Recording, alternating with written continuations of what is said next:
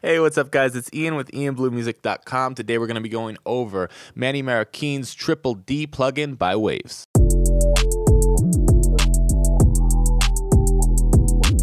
All right, so I'm going to make this as quick as possible, but what Triple D is, is a multi band vocal compressor.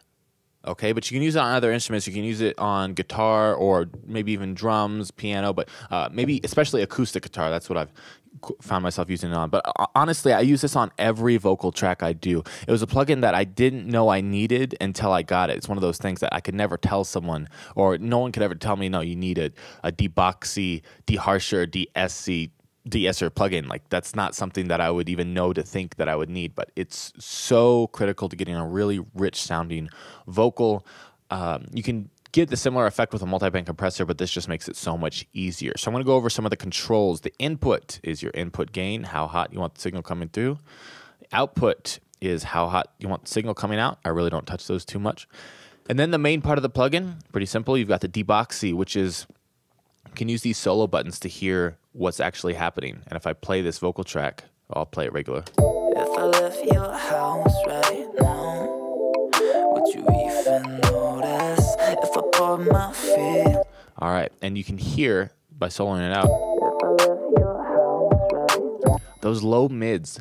The it creates that boxiness sound. You need those frequencies in a good vocal track. Don't get me wrong, but if it's booming or if it's too loud in certain points, it's going to sound a little bit uh, muddy, and you really just want to have those parts squashed down. So that's what this does. It compresses those frequencies, and you can solo it.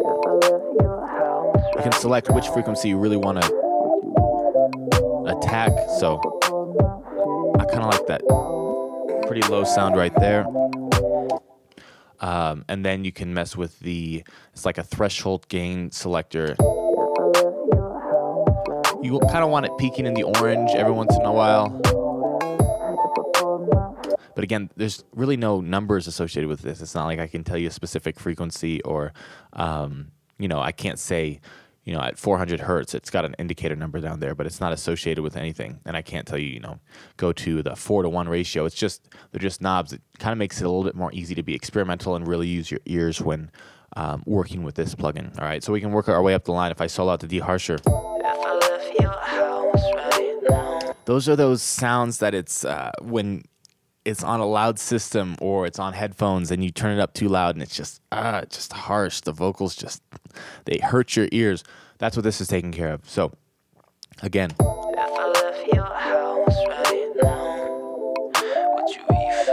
this particular take is uh, a little bit harder on those. Um, I'm sorry, a little bit more harsh in those those high mids. That's kind of what this attacks in. So I'm sliding a little bit higher to get uh, what I want to hear reduced.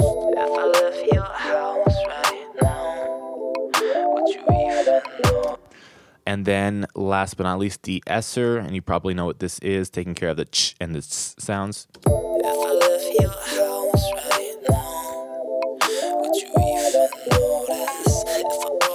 Um, I have this one maxed out.